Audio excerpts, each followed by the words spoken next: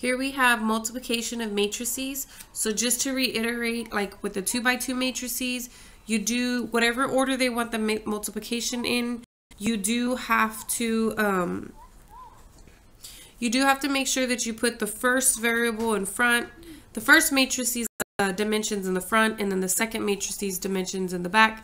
The two in the middle must match. The two on the ends tell you what your resulting matrix will look like. Okay? So I've got a matrix A and a matrix B here, and I'm going to do both multiplications, A times B and B times A. And I'll show you what, what you write when you put it, when you do these together. So for A times B, I'm going to write B um, dimensions. So there's three rows and two columns, so three by two. And for B, there's two rows and two columns, so it's two by two. The two dimensions on the inside do match, so this multiplication can be done, and the result is going to be a 3 by 2. So when I go into ALEKS, I need to select the matrix that looks like this, so that it's a 3 columns and 2, um, I'm sorry, 3 rows and 2 column matrix, and then I just need to fill in all the blanks with all the entries. Now how do we perform that? Just like we did with the 2 by 2. So you take always take the first guy's rows.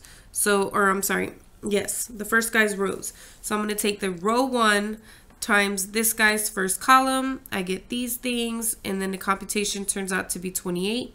Again, first row times the second column. Work out your computation. I end up with the result of 21. Take the second row times the first column. You've got that worked out here. Second row times the second column. We've got that worked out here. The third row times the first column. That's here third row times the second column, that's here. And depending on which row and which column you use to get the multiplication, that tells you the position of the response, okay? So here I took the first row and the first column. So first row, first column is where that entry will go. First row, second column, first row, second column. So that's where that answer will go. Second row, first column, answer goes here. Second row, second column, answer goes there. Third row, first column, result goes here. Third row, second column, I said third row, second column, but third row, first column, result goes here. And then third row, second column, the result goes there. Now, what if they asked me to do it in reverse? What if they asked me to do B times A? Then I would have to put B dimensions first. So B is a two row by two column matrix.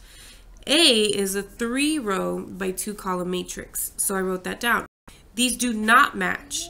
And when they do not match, that means you cannot perform multiplication because there's not enough rows or columns in one of the particular matrices to get everything done. Okay. So that means that what you're going to select in ALEKS is the word undefined. So you won't be able to pick an answer as a matrix. You have to just pick the words undefined. Um, that's going to be the result. Okay, if you if the two do match, then you will have a resulting matrix and you can pick one of the matrices that you see all around. Okay? But that's it for this topic.